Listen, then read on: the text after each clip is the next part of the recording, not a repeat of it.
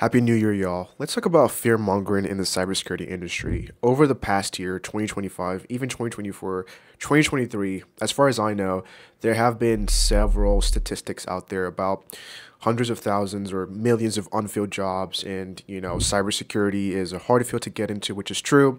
Um, and all these different things statistics, articles, uh, Reddit posts, Twitter posts, AI is coming for our jobs, all these different things. And it's really proliferated over the last year, especially with AI, uh, with a lot of you know content creators, YouTubers, and just people in the industry capitalizing on this fear mongering because fear sells, right? Fear is very, very, very cheap. Right? You can just sell fear, and that's why you know the whole like YouTube industry is full of clickbait and fear. But I want to encourage you in this 2026 new year, fear mongering is not going to reduce. As a matter of fact, it's going to get even worse because there's more reason to more reasons to fear monger. But here's how you can avoid the effects of fear mongering and actually get into cybersecurity or advance your career. The first thing is to stay dedicated to your cybersecurity craft.